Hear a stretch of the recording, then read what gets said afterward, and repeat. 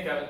Okay, so I'm gonna go over another um, trick or whatever tool to add to your like toolbox for your contest math stuff.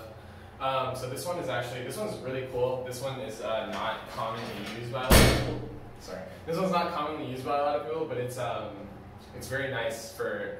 It's not commonly used because it's, it only applies to very specific situations. You would only use it when you're finding the area of a polygon on a Cartesian plane or grid. So uh, a Cartesian plane or a Cartesian grid is just um, a coordinate system. Uh, I don't know if you've actually, I'm sure you've encountered these. Coordinate system, which is um, the x and y axes, and uh, all of the numbers on the y-axis are, uh, you know, the integers, or I guess it's the entire range, but usually we just look at the integers, and then, or we just label the integers, and then um, the x is, is all, all, the, all the real numbers, and we just label the integers as well. Um, so this is uh, just one of the ways of finding the area of a polygon. I'll, I'll cover the other ones later. Um, triangles, you know, there's a lot of ways to find the area of polygon triangles, but we'll go over this one. This one is is um, pretty cool. So the area, so this is called shoelace because you end up doing like a shoelace type of um, drawing, I guess, in order to to to to uh, to get the area. Um, and the way it works is going, uh, this? Down and right, you're going to add them, and then going down and left, you're going to subtract all the products. You're, so you're going to you're going to multiply multiply these two numbers, you're going to add them, and you're going to multiply these two numbers, and you're going to subtract them. So in words, given points A, B, C, D, and E, F, the area of the enclosed triangle is this thing. AD plus CF plus EB minus BC minus D minus AF over 2. So I'm going to give you some examples so we can kind of get an idea of how this works. And so um, we'll go with the simplest example first, which is just a triangle at 0, 0, 1, 0, and 0, 1.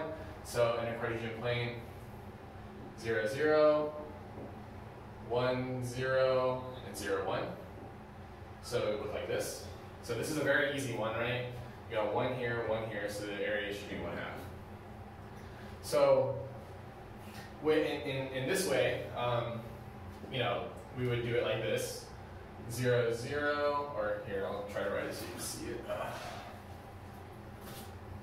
zero, zero, one, zero, zero, one, zero, zero.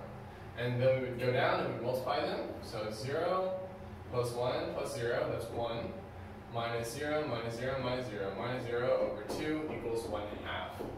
So we can see that we can uh, we can do the uh, we can check with this basic area formula, the one by one divided by two, in order to get this. Um, so we can we we have we can check that, that, that this formula works essentially. Um, then I'll go over something a little bit more interesting. I usually didn't see I didn't see a lot of these in my day, but um, you know these you can use this this way, and that would be for the area of a square. Um, or it could really be any, any quadrilateral. I'm just using a square, for example. Um, I'll probably give you another example later, too. So this one's at these points. So then we would do it uh, negative 1, 1, 1, 1, 1, negative 1, negative 1, negative 1, negative 1, 1. And we would uh, this is negative 1, minus 1, minus 1. Oh, yeah, that's the absolute value. Sorry, because this is a. Uh, huh, I should have thought that of. Absolute value, this is an area. You can have any negative areas, and I'm about to produce one. Um, so, minus 1, minus 2, minus 3, minus 4, minus another one. That's negative 5, negative 6, negative 7, negative 8. So that's negative 8 over 2 equals 4. And we can confirm this is 2 times 2 and the area of the square is 4. All right, um, I'm to go over one more simple example, um, which is just a triangle at yeah, 0, 0, 3, 4, and 0, 4. 0, 0, 1, 2, 3, 1, 2, 3, 4, 3, 4, and 0, 4. So it looks something like this. This is 4, this is 3, and just to test you, what is this number? It's a right triangle. This is five.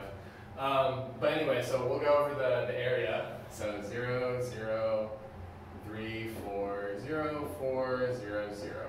And also notice that it, it does it doesn't really matter what you pick for AB, but I picked zero, zero for all of these. Let me just check that. I picked zero, zero because it's easier to multiply by zero. So if you can have something, if you can have a point at zero, zero, you should use it because it just makes everything easier. There's just less adding. Um, so this is 0 plus 12, 0, so that's 12, minus 0, minus 0, minus 0, uh, over 2 equals 6. Wow, uh, 3 times 4 over 2 is 6, so confirmed. So, you know, we know this method works, and you can use it on more difficult shapes, um, on more difficult, uh, on more, like, you know, more difficult triangles and and, and stuff like that. Um, and if you have any questions or if you want to see any more like complex examples, you know, just text me or, or tell me when, when we call and uh, I'll just make one. So yeah, see you next time.